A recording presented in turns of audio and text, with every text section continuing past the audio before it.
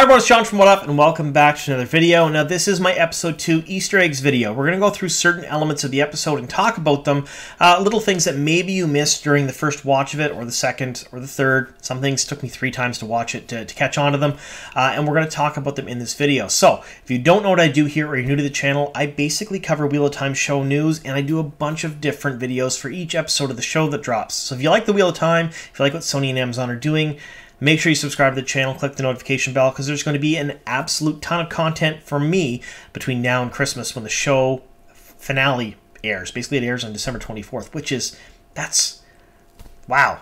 I can't believe we're going to be seeing episode 8 on Christmas Eve. So there you go.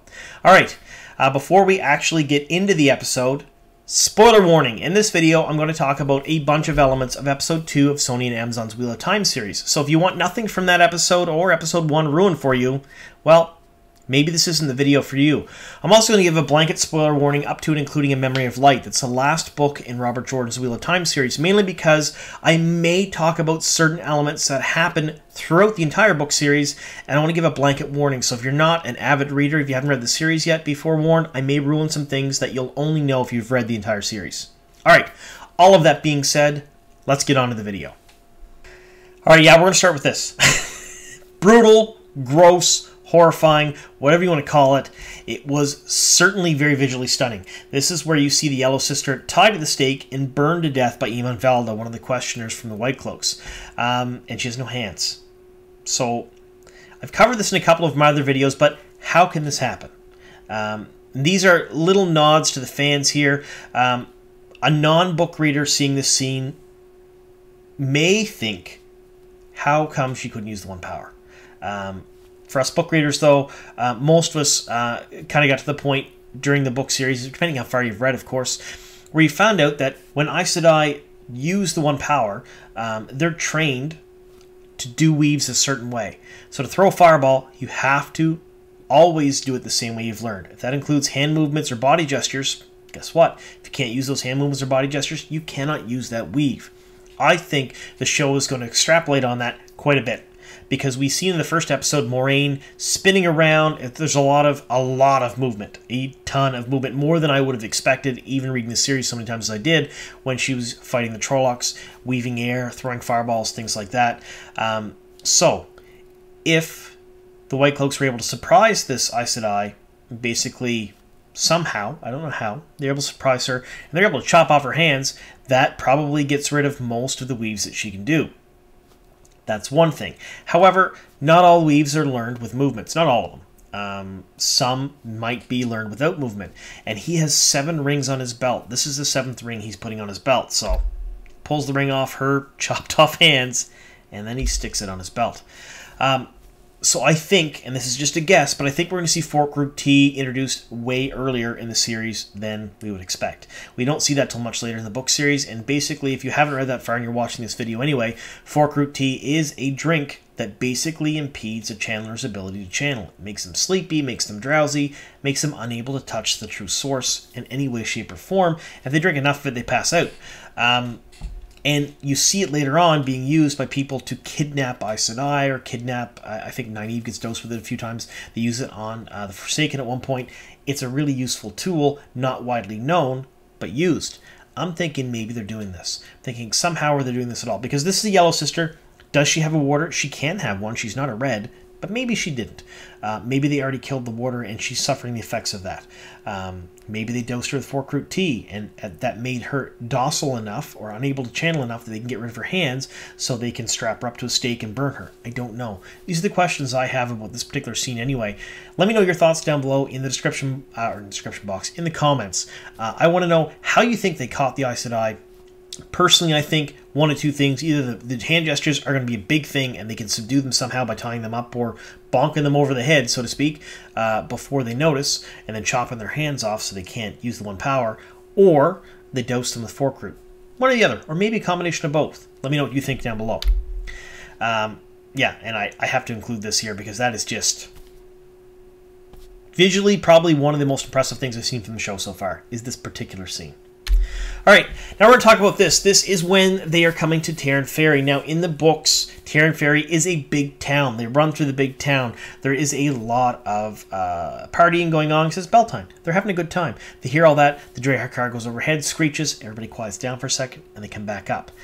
This is all prefaced by Mat basically saying, and the, and the rest of them pretty much agreeing, and they're all talking about going into the inn, having some food. It's not quite as good as the Winespring, but they think their journey's over. None of that's in the show. But if you look very closely in the background, you can see lights of a town. So they are showing the town there. Now, I don't know if it was a cut scene of them going through the town or not. They decided to put it in front of it. But basically, they go right to this Master Hightower's hut. Um, I assume his family's inside. Then they get on the ferry from that point. Um, but a few differences from the books. But I think that's Taren Ferry in behind them there. All right, I want to talk about this. Uh, in the book series, Rand uses the One Power for the very first time to make sure Bella isn't tired, and Moiraine kind of comments on it a little bit. It's a little bit of foreshadowing. Here, we only have one horse that we see her use the One Power on. It's implied she used One Power on the rest of the horses prior to, um, but we really only see her using the One Power to, you know, perk one of them up off the ground so they stand up so they're not so tired anymore. And this is to set up the fact that she's using the power to keep everyone strong and, and going and not herself. Um, so for us, I think this is a small nod, and I, I might be a bit of a stretch here, but I think it's a small nod to that scene in the books where she goes to wash the fatigue from all the horses, but she doesn't really have to with Bella. Um, I would have loved to have seen that included here. It wasn't, but I think this was a small nod to that because she's still doing it to the horses. All right, this I want to talk about this. So uh, Rand is asleep inside the ruins, and then Moiraine comes and grabs Egwene, and she goes out and she has to talk about the One Power. Now, this is sort of the same as the book series where um, Rand gets up, goes over, eavesdrops on the entire conversation, and then sneaks away at the end and goes back to his bedroll. So he hears the entire conversation with Moiraine and Egwene, knows that Moiraine is talking about uh, the One Power with Egwene and how she can use it, but he teleports in the show. So he was inside the ruins, and now he's outside the ruins. So I think that scene was probably there. I pretty much think 100% they probably included the scene where he crept up and he listened to them, and it was a way of showing that he knows what's going on, um, and you know.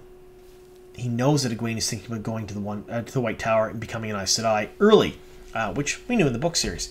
It was cut though, I believe, because I mean, why would they teleport him outside? And his explanation was, well, I wanted to get sleep alone, and sends her away.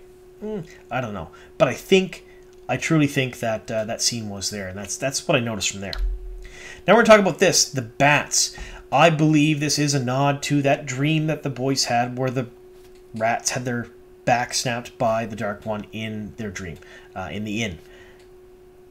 They're not in the inn. They're not going to be there. So I think this here is going to be more of. Uh, a replacement for that because Mat talks about the bat's necks being snapped. Um, Rand coughs up a bat, which is brutal. I loved it. I super loved seeing that scene. Very cool. But I think this was a small nod to us because they didn't include that dream word for word, but kind of the same. Next thing I want to talk about is this. This is, for lack of a better term, the Dark One, although for those who read the series, we know it's Ishamael. Um, we know that his hollowed out eyes with the fire and his burned skin and stuff are all from using the true power far too much. Um, it's the last stages of true power sickness before before you basically draw too much of it and die because you're so addicted to it. Um, but the boys all think he's the Dark One. So this is our first shot of him. Now there are a number of scenes with him in it. Um, going forward, I would assume, but there are a couple in the third uh, episode for sure. When I get to my Easter eggs there, that are they're very brief. They're just if you if you didn't quite see it very fast, you'd miss it. But I want to showcase him here because when we get to my episode three Easter egg video, you're going to see him, but very briefly, and it's probably going to take some doing to get that frame in the screenshot. But I'm going to try.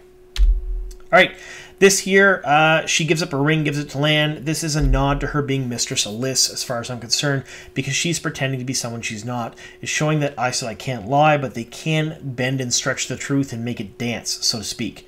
Um, when they're talking here, one of the things I've noticed is that she basically completely changed her personality. So I think she is channeling Mistress Alys here.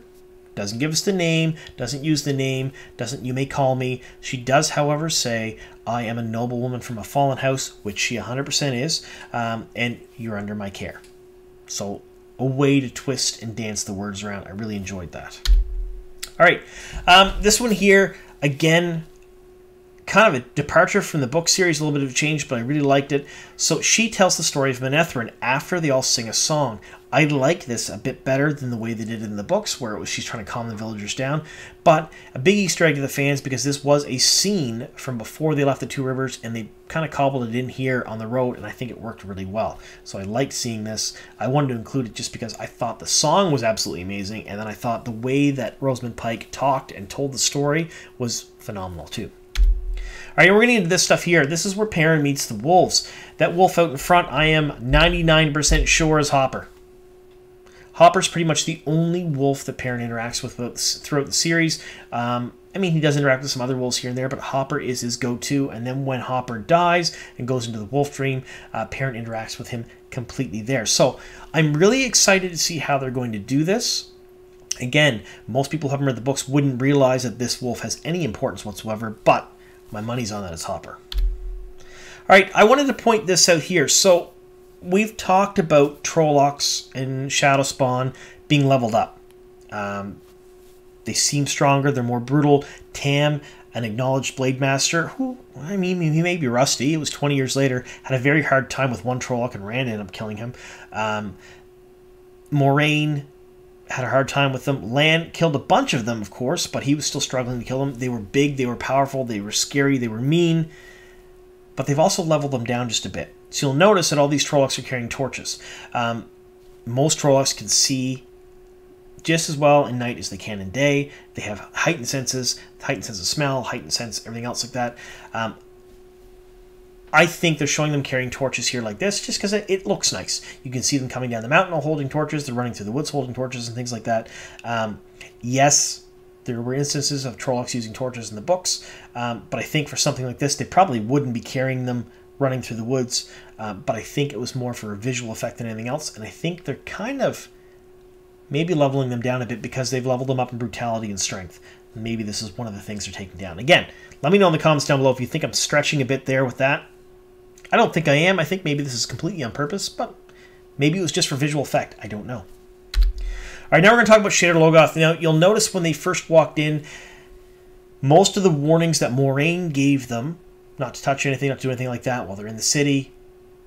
Were a little bit different or didn't happen at all, but there was some foreshadowing. There was no noise, there was no birds, there was no bugs, there was no nothing. It was a dead city, completely dead. It was brought up on the way in, and then everybody kind of ignored it, especially Mat, who wandered off and grabbed the dagger, of course. But when they were all sleeping here, and uh, there you go, that's a better shot of it. Mat gets up. Now, before Mat gets up, do you remember in my episode one breakdown where I mentioned you heard Padan Fain whistling? Yeah, you hear that exact same whistle here. So, um, I had to go back a couple of times and, and watch it again and again. It helps you put the subtitles on. So you put the closed captioning on. It does say whistling, whistling continues, whistling stops. Um, I'm I, I, use hearing aids personally myself. Uh, I'm really hard of hearing, uh, a lot of hearing loss. So I need subtitles on normally anyway to watch things. So this was an instance where that benefited me. but that same whistling from Padan Fain is here. Um, so I think, and, and, and this this could be just me spitballing here, but I think that the lack of Mordeth is not very concerning because I think Fain is going to be labeled as basically Mordeth and having all the powers from the get go. That's my guess because he seemed very much more in control in, in the Two Rivers than he was in the books. Um, he did not get punished for failing his mission. As far as we know, he was not doubled up in a Trolloc cookpot and made to run with them all day. Maybe he is. Maybe we'll see that in a flashback later on. But I think he followed them here, made their way here, and he's in there, and he's the one who made Mat get the dagger to sort of release that so he could get it later on. I don't know. But the very least, he was responsible for waking Mat up by whistling. So I want to hear your thoughts, comments, and theories on that down below in the description box because this is a big one. Um, you heard him whistle again here. Uh, I, I told you to talk about it in my episode one in my further episode breakdowns. Here it is right here. Um, I want to know why. I want to know if, if maybe the plan is to replace Mordeth with Fain without merging the two later on. Um, what do you think? All right. Thank you so much for sticking with me here to the very end of my Easter egg video. I had a blast giving it. I love going through this stuff. Um, and like I said in my first Easter egg video, if I missed any, and I'm sure I missed tons of them, um, I've only watched the episodes a few times at this point, let me know in the comments down below. At the end of the season, the very end, after the eighth episode on Christmas Eve, I'm going to ask you folks for all of your Easter eggs that I missed. I'm going to compile them all into one big video, and then we'll try to get a bigger picture. Because I'm sure at that point, seeing things later on in the episodes, there's probably foreshadowing I missed in episode 1 and 2, and 3 and 4 that we'll see later on. Just like reading the book series. Tons of foreshadowing in there. They're using it as well in the, in the show, and uh, until we see it a couple of times or see it run through, we're probably missing it. So I know you folks have better eyes than me sometimes. Let me know what I missed in the comments down below. All right. Thank you so very much for sticking with me here to the very end. And here's to many more.